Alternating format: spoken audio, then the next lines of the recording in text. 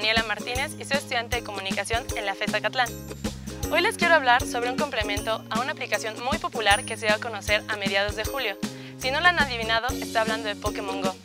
Es una aplicación de realidad aumentada que te permite atrapar monstruos de bolsillo en el mundo real, retomando la temática de la serie y el videojuego de los 90 que nos dejó personajes tan entrañables como Pikachu, Charmander, Bulbasaur, etc. Y bueno, realmente hoy de lo que vamos a hablar es de la pulsera llamada Pokémon Go Plus, la que te puede ayudar a encontrar algunos de estos monstruos o obtener premios sin necesidad de exponer tu celular. Esta pulsera se usa de una manera muy fácil, simplemente te la colocas y por medio de vibraciones que va a emitir puedes saber si encontraste algún Pokémon o estás en alguna Poképarada.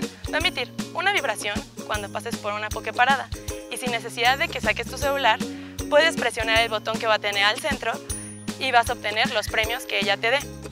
Y si emite dos vibraciones es porque encontraste algún Pokémon. Si este Pokémon ya se encuentra en tu lista de Pokédex, no es necesario tampoco que saques el celular, ya que simplemente presionando ese botón puedes lanzar la Pokébola para atraparlo. En cambio, si este Pokémon no se encuentra en tu lista de Pokédex, debes sacar tu celular para intentar atraparlo. Esta es toda la información que se tiene hasta el momento de este accesorio. Espero que esta información haya sido de utilidad para que puedas atraparlos a todos. No olvides seguir las cápsulas de Social Media Catlán a través de retweet.